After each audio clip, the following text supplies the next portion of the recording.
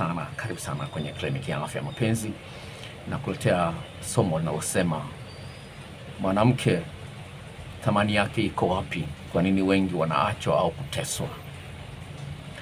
Uh, mada hii imeletwa na kaka kutokea Songea na inasema hivi, swali lake anasema, Dokta, naitwa Damas, niko Songea. Hivi thamani ya mwanamke iko wapi? Mbona wengi wanachezewa na kuachwa, wengine wamezalishwa na kutupwa? Shida iko wapi dokta? Nataka kufahamu. Wengi mngependa kulifahamu hili, shida iko wapi? Mwanamke unakuta vizuri, kaachwa, kazalishwa, kaachwa, ana kazi yake, amekazalishwa, kaachwa, inakuwaje? Sasa nipenda nikwambie kwamba hii ni psycho education, ni ni ni elimu katika saikolojia ya ubongo. Mtoto anapokuwa mdogo amezoea kwamba akijikojolea mkojo unamwacha, akilia mama yake anakuja anamwogesha, anamvalisha nguo mpya.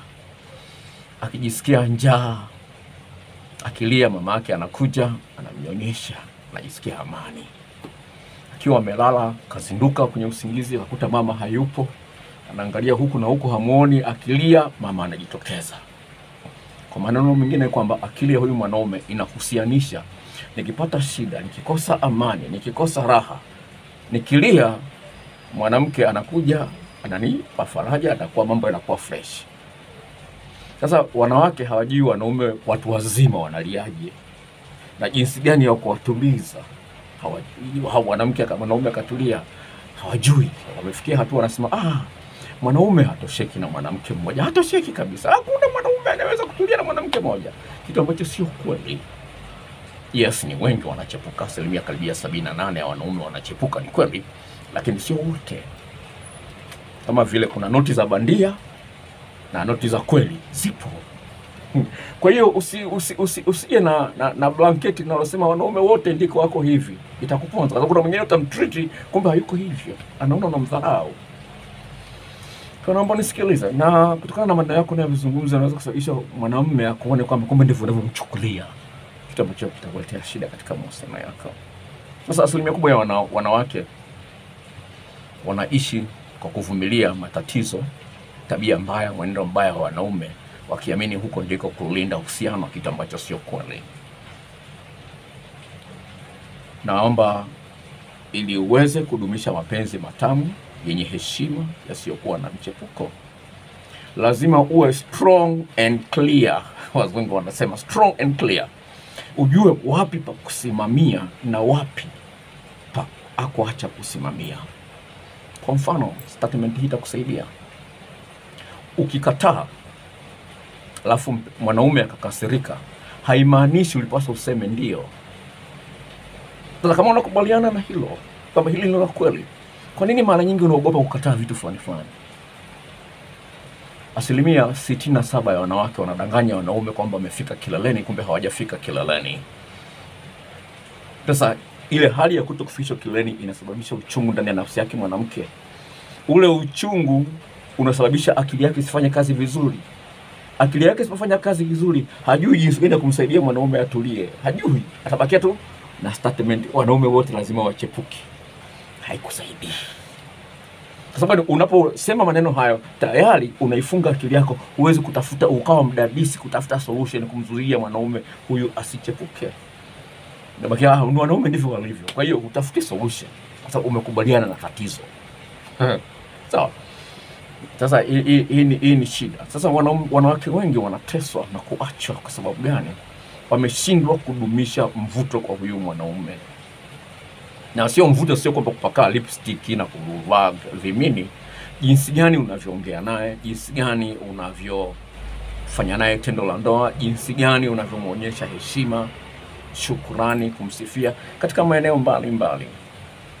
Sasa asilimia kubwa ya wana, wanawake wanaendesha mahusiano kuanzia hapa kwenye kidevu mpaka hapa, huku wanakuacha yaani kwa sehemu kubwa wanatumia akili yao badala ya kutumia moyo. Naomba nisikilize hapa, pale ambapo unaficha kumwambia ukweli mwanamke mwanaume, ha, ndiyo hapo unasababisha yeye aongeze mara mbili ubaya wake bila wewe kutarajia. na ndio maana ndoa zinaanza vizuri zinaishia vizuri, zinaishia vibaya. Ndoa za watu ambao wamefahamiana miaka mitatu wanafunga ndoa zinaanzia kuzuri, zinaishia vibaya. Lakini wale ambao walianza, tafiti za kisayansi, wale walioanza hawajuani kama Wahindi na Wahindi, unafanya tu kuchaguliwa, bwana wote wao huyu, unakutana tu siku ya harusi. Wale wanaoanza hawajuani kabisa, tafiti za kisayansi, wanaanza kwa ugumu, lakini wanaishia kwa utamu. Hmm. Sasa hii ha- hii hali kwa, kwa nini? Kwa sababu unapoanza na ugumu, unapokutana na ugumu unakupa njia ya kutafuta solution. Hiyo solution inakuweka mahali pazuri sana. Sasa kabla ya kuwa na uhusiano mzuri, lazima kuwe na hali ya usalama. Mtaalamu huyu akasema kwamba there has to be safety before there could be intimacy. Ili kuwe, ili kuweze kuwepo na ukaribu, lazima kuwe na hali ya usalama, kwamba huyu nikimkaribia hata nipiga. Kwa hiyo nasema hivi, ukimkatalia mwanaume halafu akakasirika, haimaanishi ulipaswa useme ndio. Sasa inategemea hii, hii noo yako unaisemaje kwa huyu mwanaume ili aielewe. Sasa wewe unafikiria kwamba nikimkatalia ataka- ataka- atakasirika. Tafiti zinaonyesha kwamba asilimia 67 ya wanawake wanadanganya wanaume kwamba wamefika kileleni, kumbe hawajafika. Sasa hii ni idadi kubwa, kwa sababu anaogopa mwanaume asije akaumia, lakini ukule wenyewe ni kwamba ana, mwanaume huyu anausoma uso wako kwamba hujafurahia tendo la ndoa, anausoma uso wako kwamba tendo la ndoa kwako wewe kama vile unajilazimisha. Kwa sababu gani? Wakati anakuwa alijifunza kusoma uso wa mama yake anapokuwa ananyonyesha. Mama akiwa amekasirika, anajua amekasirika. Mama akiwa amenuna, anajua amenuna. Hii tafiti, hii tafiti ipo. Tafiti za kisayansi zinaonyesha kabisa kwamba stress aliyonayo mama inamwambukiza mtoto mchanga. Hiyo yaani ukipima uh, homoni ya cortisol ambayo ni, ni stress hormone, ukipima alionayo mama utakuta na mtoto nayo anayo hivyo hivyo. Kwa hiyo ah, kwa hiyo ah, mtoto huyu anakuwa kwenye stress, lakini hajui jinsi gani ya kuiondoa hii stress. Nifanye nini mama ajisikie raha? Hajui. Kwa hiyo anakusoma wewe, wewe una- wewe unaona kwamba umemdanganya, umefika kileni, kumbe hajafika. Unaona kwamba hajagundua, lakini ameshakusoma, lakini ameamua tukupuuzia. Sasa kwa uhusiano wa muda mrefu, lazima huyu mwanaume atakutupa. Sasa basi, uh, kuna vitu ambavyo napenda nivizungumze hapa kwa sababu hii ni, ni psycho education. Mtaalamu ambaye amefanya utafiti kuanzia mwaka 1991 ni mama, anasema hivi, nimegundua katika ushauri wangu nilikuwa natoa huko nyuma, nilikuwa nafanya makosa, sababu sikuwapa watu psycho education, niliwapa tu ushauri Yani mtu ajielewe yeye mwenyewe ubongo wake unafanya nini, aelewe huyu mwingine ubongo wake unafanya unafanyaje kazi unapokutana na challenge fulani fulani, changamoto fulani fulani, unafanyaje kazi, na awajue mchakato wa kumsaidia. Hmm. Kinyume na hapo, unajifanya unafikiria unajua kusema au kufanya mambo, kumbe unakosea. Hmm. Uh, nilikuwa naongea na dada mmoja jana, anauza M-Pesa, akamwambia wewe, akasemaje Akasemaje? Akasemaje? Mbona unakuja kutoa pesa mara nyingi kila hapa unakuja kutoa pesa? Akasema na, nawauzia watu video. Video za nini? Nikamwambia za kuchezea korodani. Akacheka. Akasema nitakuja na mimi unifundishe. Asilimia kubwa wana- wanawake wanajua tu kunyonya dudu, korodani hawajui. Sasa anyway, sasa katika ulimwengu huu ambapo mwanaume uliye naye ashatembea na wanawake saba sita kabla yako wewe, akikuona ujui uchezea korodani, anakuangalia tu, sababu hujajiongeza. Kama nilivyozungumza. Ni kwamba huyu mwanamke aki, mwanaume akili yake imeumbwa. Akijua kwamba ikijikojolea kichafuka ikisikia vibaya mama atakuja atanyosha, atanibadilisha nepi atajisikia vizuri. Nikisikia njaa mama atakuja atanyosha, atasikia raha. Sasa kikuona kwamba wewe hurespondi katika mahitaji yake kikamilifu ndio hapo anaanza kwanza kukudharau alafu anaanza kuchukia alafu anakutupa Ah,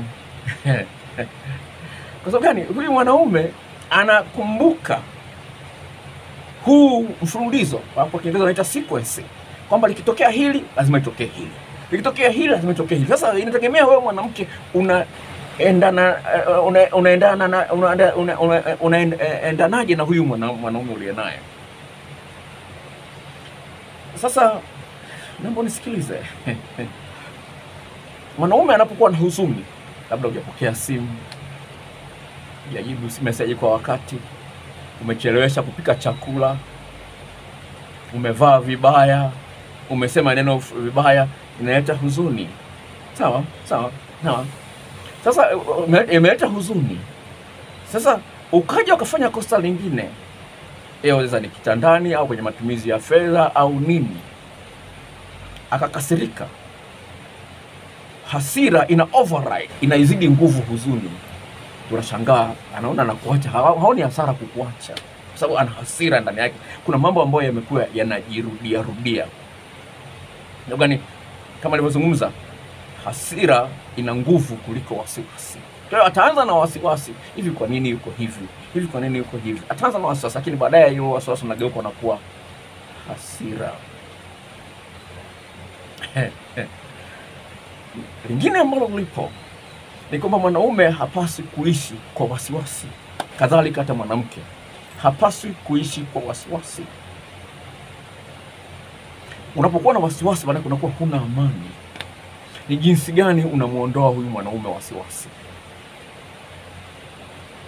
Uchangamfu wako, unavyoongea naye, unavyomshukuru, unavyomsifia, unavyomhudumia kitandani na nje ya kitanda, awe na uhakika kwamba kweli mke wangu ananihangaikia, ananipenda.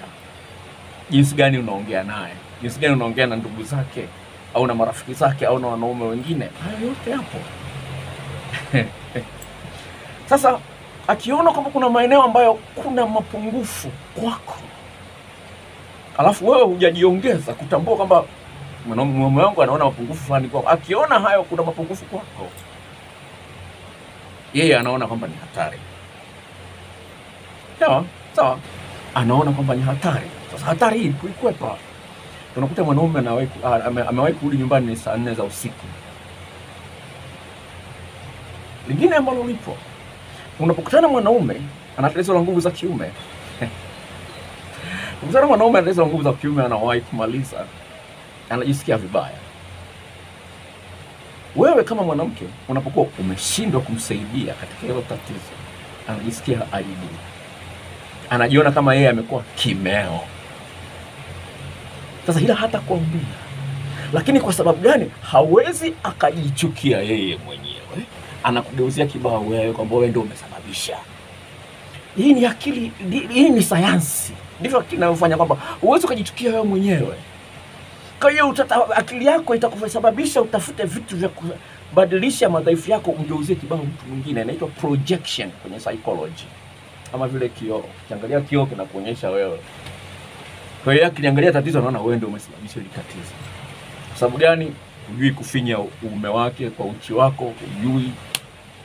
Hujui kupanua miguu miguu unawekaje mikao mingine upendi. Sijui unajiambia ukeni.